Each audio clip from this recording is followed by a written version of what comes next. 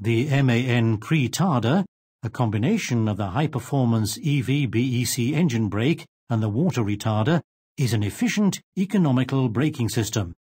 In contrast to the conventional retarder, the water retarder works directly with a coolant in the cooling circuit. The vehicle's kinetic energy, which is converted to thermal energy, is transferred directly to the coolant. An additional heat exchanger is not required. The water retarder is located at the end of the crankcase. It's driven directly by the crankshaft but doesn't restrict power takeoff in any way. The PriTarder is integrated in the MAN BrakeMatic braking system just like a conventional retarder. The system combines well with the MAN TipMatic gearbox. The automatic gear shift system changes down through the gears automatically during braking as required.